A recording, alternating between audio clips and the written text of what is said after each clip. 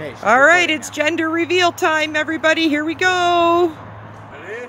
Ready, set, go.